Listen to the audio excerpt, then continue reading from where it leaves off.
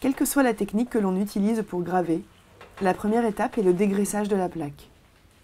Il permet notamment de faire adhérer le vernis à la plaque. Pour l'eau forte, il faut ensuite poser un vernis résistant à l'acide sur l'ensemble de la surface de la plaque. On se sert pour cela de pinceau plat.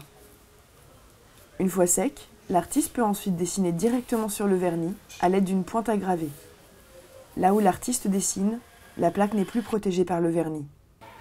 On peut alors la faire mordre dans un bain d'acide de perchlorure de fer. On rince ensuite la plaque à l'eau claire et on retire le vernis. Après cela, on pose le cuivre sur une plaque chauffante. On met de l'encre partout sur la totalité de la plaque, on en met beaucoup, on va en enlever 98%.